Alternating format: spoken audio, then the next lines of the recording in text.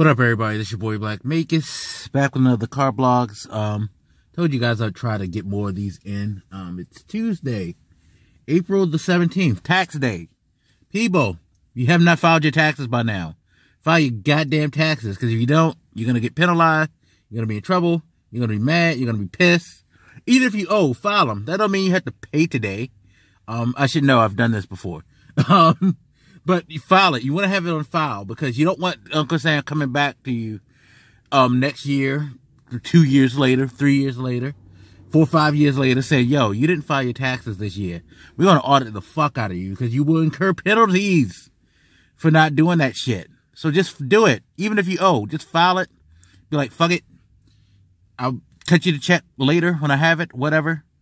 File those shits. Seriously, don't, don't, don't don't fuck yourself. Don't fuck yourself over. Anyway, um, so what's going on right now? Um, finals week, accounting. God damn it. Had a week off to relax. Um, I actually got my grade back for my course project and didn't do too bad.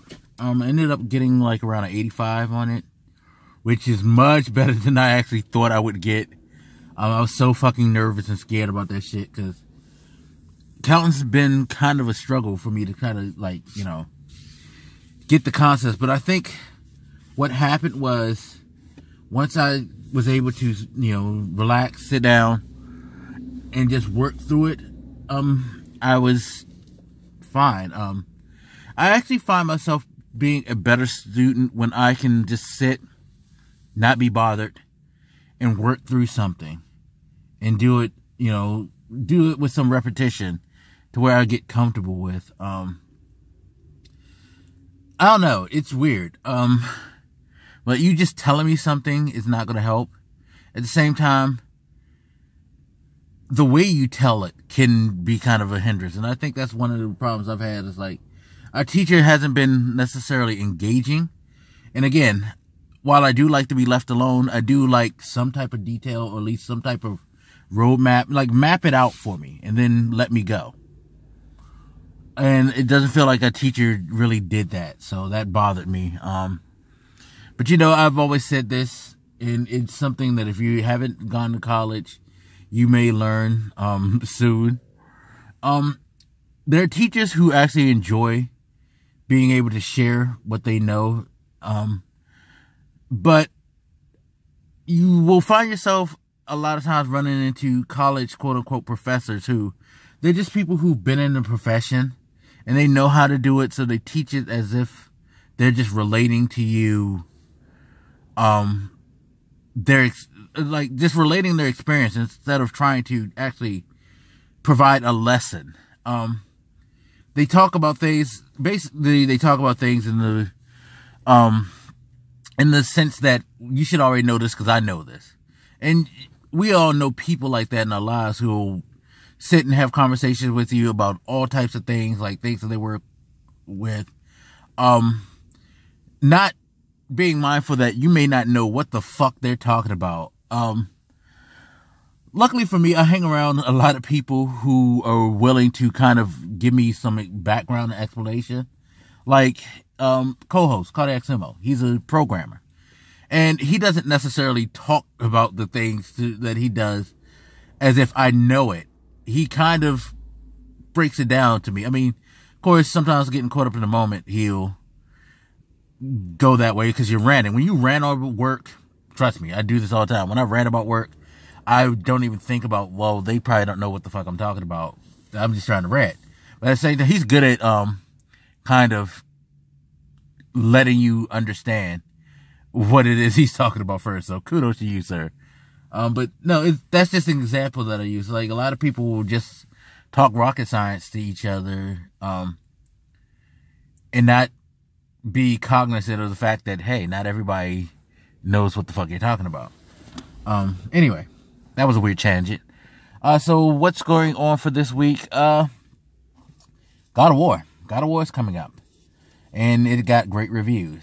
Um, immaculate reviews last week. The Sony was confident enough to let people go ahead and eight days before release their reviews on it. And so far, I think it's still maintaining a 95% um, on Metacritic for overall aggregated reviews, which is very, very good. That being said, I don't necessarily mean that this game is going to be great to everybody. Um, like I heard one review with this guy, he had um, a couple of elements in the game that he really didn't care for, which you know, hey, it's his opinion and it makes sense. Um, he wasn't necessarily being despiteful. He just said like it's just certain mechanics, certain elements I didn't find that interesting. Um, I've heard from a couple of people in like video reviews and whatnot, podcasts, that the game kind of gets stretched a bit. So that's a valid, you know, complaint. The thing is, when I look at or listen to these reviews, I basically don't try to map them to my expectations or make them, how could I say, influence whether or not I'm going to get something. I mean, there's some things, and uh, you know, we've discussed this before in videos. So there's some things where sometimes you do need review help to kind of get yourself a feel for it. Like I poured through a lot of different um, personal reviews and um, professional reviews for TVs, so I could fill out what type of TV I should look for and what type of TV I was getting, and I was satisfied with what they said. Um, to the point where it sounded like the pluses and minuses weighed in the favor of the pluses, at least for me. And I wouldn't pull the trigger. And that's the thing. The pluses and minuses shouldn't weigh on whether or not you feel like, okay, well, if everybody's saying this is a minus, this is a minus, this is a minus, and only this is a plus, then clearly this ain't worth me getting. No, the pluses that they point out may be what you're looking for. Um, everybody's different our minuses aren't going to be the same. Um, and it's something that I continue to caution people, caution people to do when it comes to review. Take it from the perspective of what is it about this review, what about their opinion that you find would be a red flag for you. I know red flags for me when it comes to um, game reviews. Uh, story if people don't find the story compelling, interesting, um, if enough people don't, I would be, I will take a moment and think, hmm, well, let me look and see if the premise seems good. And if it's just an execution of the story that's bad, if the execution of the story that's bad, I might still look into it to see what the, what it's about. It's like, that's me. I'm heavy on the story. Um, and for other people, it's just all about the shooting mechanics. It's all about, um, you know, button layout. It's a number of different things, and like you just have to take it from your perspective and not let it dominate you. Um, the score. Let, don't let the score dominate your opinion or your feel for something. Um, but I know we we all get caught in that habit. We see that score and we immediately think, oh, it must be awesome. Um, especially tens. And I've always said there's no such thing as a fucking 10. I don't know why people um get upset when games get 10s because it's like one again, reviews are opinions. 3 I don't think 10 means perfection. So stop thinking of 10 as perfection. Um if anything 10 means perfection in that person's eye or that it's so good that even with its flaws it's you know deserves the highest score. You know what I mean? But it's been about 10 minutes and I'm getting close to going into work. So, oh, and I know you guys missed that fence. Um, that's why I did this because that fence hasn't been in here in a long time.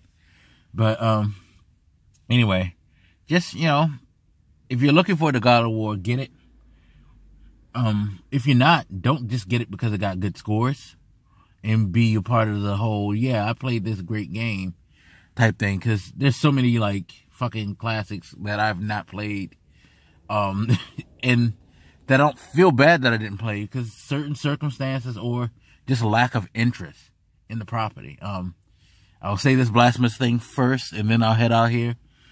Most people who know me know I'm not a fan of Halo. I thought one was okay, but for the most part, don't find Halo all that engaging. But anyway, um, so I'm gonna end this right now. Somebody just pulled up. That's why I moved the camera right here. Um, anyway, you guys, feel free to hit me up. Let me know what you think, and I'll holler at you later. This your boy Black Maze, and I'm out, y'all. Deuces.